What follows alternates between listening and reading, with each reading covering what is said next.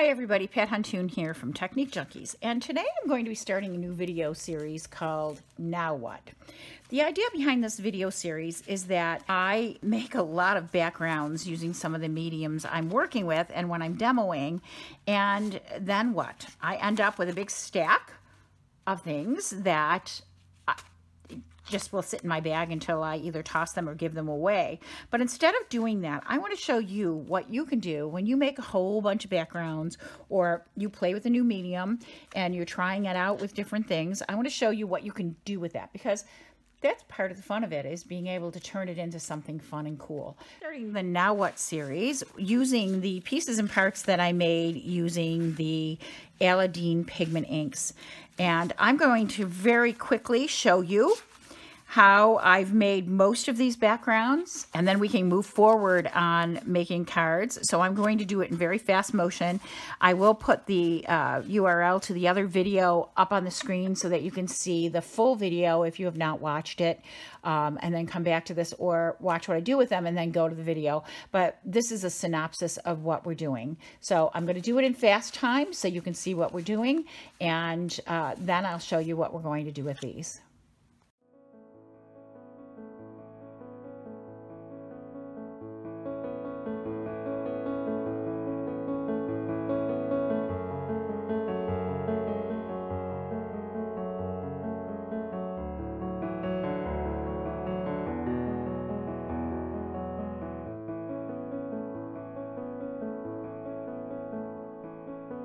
Okay, so now that you've seen me do that once again, and hopefully you've had a chance to either watch the video or refresh yourself on the other video that shows you all of them, I'm going to sort these into three piles, really. I'm going to sort these into things that can be a full background on a card, things that are better as borders or pieces, and then other ones that are so small because I was working on such a small amount of paper that really they're good for ATCs, but they're not really big enough for much else. Or this is also good for a focal image. Um, so I'll have a pile of ATC slash focal images. So I'm going to work through cutting these down very quickly so that you don't have to watch me in real time. And I'll have three piles here. And once I'm done with my piles, I'll be right back at you. Okay, so you can see that I cut these down and I have three still very substantial piles. I have um, backgrounds. These are going to be either backgrounds or stamped into. These are going to be borders. Some of these still may end up being ATCs. And then these are automatically going to be ATCs. So, so before I start, I like to think about what I can do with each of these um, different pieces here. And this particular product that we're using, the Aladine Pigment Ink, it is a pigment ink. So because of that, you can do a lot of things into and onto this that you might not be able to do with some other mediums because this is not a resisting medium. So what you can do, and I'll list these out here, is you can stamp into it. So I can take StazOn and I can stamp into any of these pieces or a permanent ink, and it's going to show up on here. I can rub additional ink onto it. I can put a stencil over it and stencil over the top of it. I could use an embossing folder and emboss into it. I can use embossing powder and heat emboss into it. I could use any of these as just a plain old background. I could use any of these to die cut from to create die cut with a lot of shapes and colors. So those are some of the things I'm going to be doing as I do these. I'm just going to pick a few at a time and do them. One of the ways that you can do this is pick out some stamps that you really like. Some stamps that are fun, sentiment stamps, uh, word stamps to go over the top, things that can be cut out before you start. So I'm going to gather those and I'll be right back. So I've pulled a whole bunch of stamps here, some that I'm going to just place over the top, some I'm going to stamp over, like these guys I'm going to use to stamp over. I thought that would be pretty awesome. Some that I'm going to use bits and pieces of, but not the whole thing. We have some um, I have some silhouette stamps here that'll stamp into that beautifully. I thought it would be fun to put either make a paper piece dolphin or put the dolphin over the top, but also just some plain old sentiments because they'd be beautiful on these uh, ATCs. So let me get started by showing you a couple that I'm going to do right off the bat. And then I will move it up into uh, real time and we can go from there, okay? Okay, so I I just want to mention that your best friend when you are stamping onto watercolor paper is always going to be um, a MISTI or a stamp positioner. Uh, the reason for that is because watercolor paper has more teeth to it, so you want to make sure that you can get the ink down into the tooth. So we're going to start with this from the graduation greeting set, SS106. Shoot for the moon, even if you miss, you will land among the stars. So that's the first thing, and I'm going to stamp that directly on here which is one of the little HECs. I just thought that was so pretty. Um, so we're just going to, and this doesn't have to be graduation oriented, not with that saying. So I'm going to position it more or less where I want it and stamp. Okay, so I just did that, and it, you, as you can see, it's pretty. I could just put it out just like that, but I think I'm going to trim that down and add a layer to this, and one done. All right, so I just want to show you, you can make things that fast just little artist training cards. You can also use something like this over the top, maybe, oh, actually, that's not so bad. Over the top of that one, okay, or over the top of another piece. You can use this as a focal piece. So that's how you start with these, and I'm going to speed up, and uh, you can watch as I go along and see where I go with these.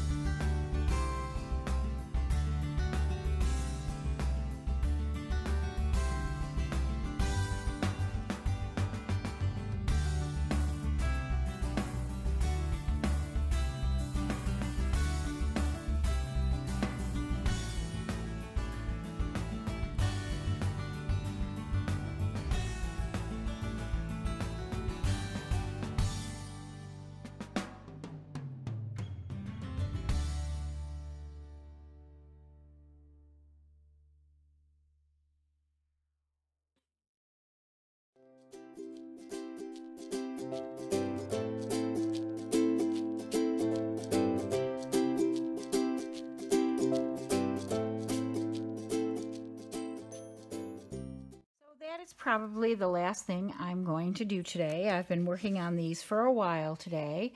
Um, if I was actually just uh, making a bunch, what I would do is make a bunch of the same thing. Like I really love how the relaxed card turned out, so I'd probably make a few of those. I certainly would make more birthday cards because I think that's really cool too. Um, and who can't use birthday cards? And the congratulation cards, the pineapple ATCs, everything. Um, I would just keep going on one theme for a little bit um, rather than jumping around from theme to theme and, and stamp to stamp if I were making these in one sitting on a normal basis for myself. I just wanted to show you everything you can do with the pieces and parts that you make. I hope you enjoyed today's video tutorial. If you did, please give us a thumbs up on YouTube and consider subscribing to the Technique Junkie YouTube channel. I hope you this was helpful to you, and um, I'll see you next time. Thanks. Bye.